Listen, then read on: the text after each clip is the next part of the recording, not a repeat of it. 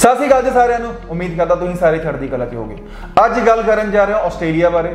ਕਿ ਜਦੋਂ ਆਸਟ੍ਰੇਲੀਆ ਦੀ ਗੱਲ ਹੋਈ ਸੀਗੀ, ਜਦੋਂ ਆਪਾਂ ਸਾਲ 'ਚ ਐਂਟਰ ਕੀਤਾ ਸੀਗਾ, ਆਸਟ੍ਰੇਲੀਆ ਵਾਸਤੇ ਬਹੁਤ ਬੱਚਿਆਂ ਨੇ ਅਪਲਾਈ ਕੀਤਾ ਸੀਗਾ। ਐਂਡ ਜਿਵੇਂ ਜਿਵੇਂ ਟਾਈਮ ਲੰਘਿਆ, ਮਾਰਚ ਅਪ੍ਰੈਲ ਮਈ 'ਚ ਆਏ, ਬੱਚਿਆਂ ਦੇ ਮਨ 'ਚ ਬਹੁਤ ਸਾਰੇ ਸਵਾਲ ਆਨੇ ਸ਼ੁਰੂ ਹੋ ਗਏ ਸੀਗੇ ਕਿ ਜੀਟੀ ਕਲੀਅਰ ਨਹੀਂ ਹੋ ਰਹੀ ਰਿਜ਼ਲਟਸ ਕਦੋਂ ਆਣੇ ਆ? ਕਈ ਬੱਚੇ ਨੇ ਤੇ ਇਹ ਵੀ ਕਹਿਣਾ ਸ਼ੁਰੂ ਕਰਤਾ 2 2 3 3 ਮਹੀਨੇ ਹੋ ਗਏ ਐਮਬੈਸੀ ਫਾਈਲ ਲੱਗੇ ਨੂੰ ਰਿਜ਼ਲਟ ਨਹੀਂ ਆਉਂਦੇ ਪਏ। ਐਂਡ ਬਹੁਤ ਸਾਰੇ ਏਜੰਟਸ ਦੇ ਮੂੰਹ ਦੀ ਵਰਡਿੰਗ ਵੀ ਸੀਗੀ ਕਿ ਭਈ ਆਸਟ੍ਰੇਲੀਆ ਨੇ ਤੇ ਹੱਥ ਖੜੇ ਕਰਾਤੇ। ਇੰਨਾ ਡਿਲੇ ਕਦੇ ਨਹੀਂ ਵੇਖਿਆ ਸੀ ਆਸਟ੍ਰੇਲੀਆ ਵਿੱਚ, ਜਿਹੜਾ ਕਿ ਇਸ ਸਾਲ ਦੇਖਣ 'ਚ ਮਿਲਿਆ।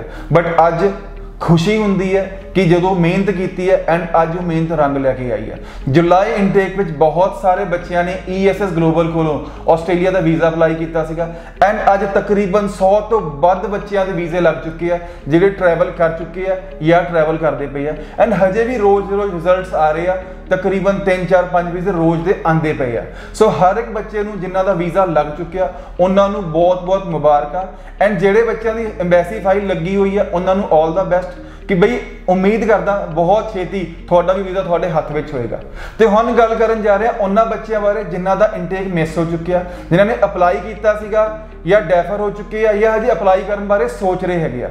ਸੋ ਜੇਕਰ ਤੁਸੀਂ ਵੀ ਆਸਟ੍ਰੇਲੀਆ ਨਵੰਬਰ 2022 ਇਨਟੇਕ ਵਾਸਤੇ ਅਪਲਾਈ ਕਰਨਾ ਚਾਹੁੰਦੇ ਹੋ 12ਵੀਂ ਤੁਸੀਂ ਕੀਤੀ ਆ 2021 ਦੇ ਵਿੱਚ।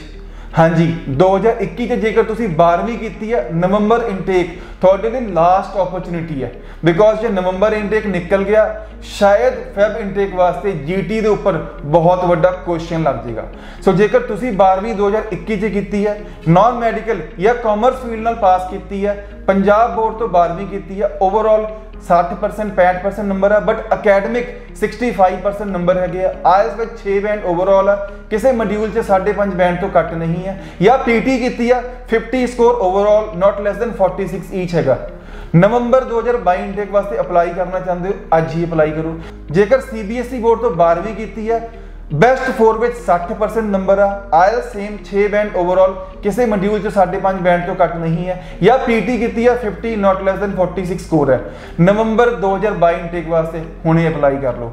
ਐਂਡ ਉਹ ਬੱਚੇ ਜਿਨ੍ਹਾਂ ਨੇ ਗ੍ਰੈਜੂਏਸ਼ਨ ਕੀਤੀ ਹੈ, ਖਾਸ ਕਰਕੇ ਬੈਚਲਰਸ ਡਿਗਰੀ ਕੀਤੀ ਹੈ ਕੰਪਿਊਟਰ ਫੀਲਡ ਵਿੱਚ, ਜਿਵੇਂ ਕਿ BCA BSc computer science BTech computer science BTech electronics and communication ECE ਵਿੱਚ ਕੀਤੀ ਹੈ।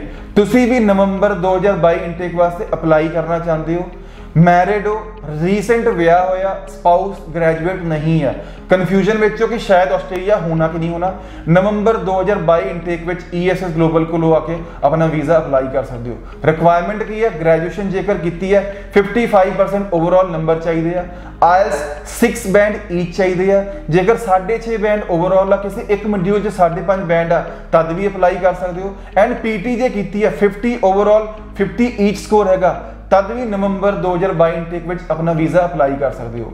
ESS ਗਲੋਬਲ ਦਾ ਵਾਅਦਾ ਆ ਕਿ ਨਵੰਬਰ 2022 ਇਨਟੇਕਸ ਤੇ ਜਿਹੜੇ ਬੱਚੇ ਨੇ 12ਵੀਂ 2021 ਚ ਕੀਤੀ ਹੈ ਨਾਨ ਮੈਡੀਕਲ ਜਾਂ ਕਾਮਰਸ ਫੀਲਡ ਦੇ ਨਾਲ ਜਾਂ ਗ੍ਰੈਜੂਏਸ਼ਨ ਕੀਤੀ ਹੈ IT ਫੀਲਡ ਦੇ ਵਿੱਚ, ਹਫ਼ਤੇ ਦੇ ਵਿੱਚ ਆਫਰ ਲੈਟਰ 15 ਦਿਨਾਂ ਦੇ ਵਿੱਚ ਵਿੱਚ ਜੀਟੀ ਕਲੀਅਰ ਤੇ 1 ਮਹੀਨੇ ਦੇ ਵਿੱਚ ਵਿੱਚ ਐਮਬੈਸੀ ਫਾਈਲ ਲੌਜ ਹੋਏਗੀ। ਸੋ ਜੇਕਰ ਤੁਸੀਂ ਵੀ ਨਵੰਬਰ 2022 ਇਨਟੇਕ ਮਿਸ ਨਹੀਂ ਕਰਨਾ ਚਾਹੁੰਦੇ, ਅੱਜ ਹੀ ESS ਗਲੋਬਲ ਦੇ ਨੇੜਲੇ ਆਫਿਸ 'ਚ ਆ ਕੇ ਆਪਣਾ ਵੀਜ਼ਾ ਅਪਲਾਈ ਕਰੋ। ਥੈਂਕ ਯੂ ਸੋ ਮਚ ਸਤਿ ਸ੍ਰੀ ਅਕਾਲ।